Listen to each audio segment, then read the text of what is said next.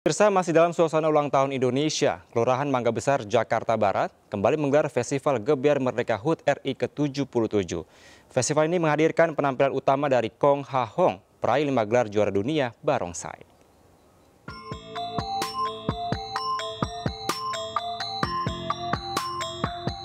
Ratusan warga Kelurahan Mangga Besar antusias merayakan Festival Gebiar Merdeka HUT RI di Jalan Labu Mangga Besar, Jakarta Barat. Tarian tradisional turut memeriahkan festival ini.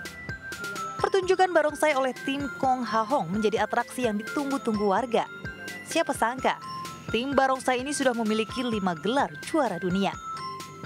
Fisik uh, paling nafas, nafas, kaki, uh, otot, badan, semua itu mesti kontrol, mesti bagus lah stamina mesti bagus. Terus uh, buat ini acara ini sih kita sangat bangga ya di hadir di acara ini. Uh, kita juga bisa memuliakan budaya Indonesia aja kayak gitu sih.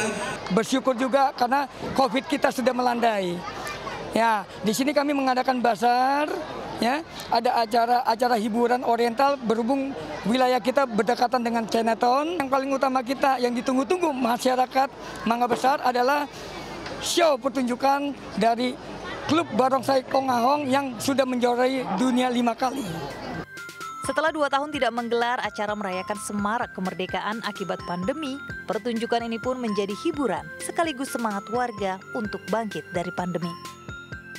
Untuk merayakan uh, Hari Republik Indonesia yang ke-77, acara ini juga bertujuan untuk uh, mencukuri bahwa COVID-19 di Indonesia telah landai dan juga sudah menurun kasusnya. Dari Jakarta, Giselia Nurahma, Iriansyah, Ayus melaporkan.